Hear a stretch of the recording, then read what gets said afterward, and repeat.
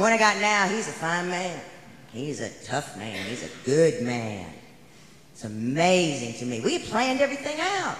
You know, we got married and we planned ahead that in the fifth year of our marriage, we would have a child.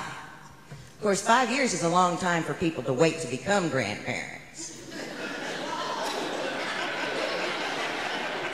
And I'll never forget, you know, Mom and I were taking a walk one day. I was out here visiting, and she stops all of a sudden and says, Shh, listen.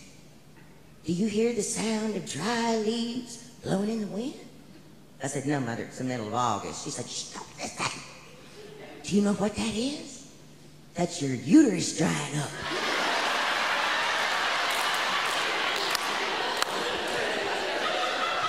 Of course, we got some family had 10, 12 children. Theirs hanging down there like a clapper on a bell, you know.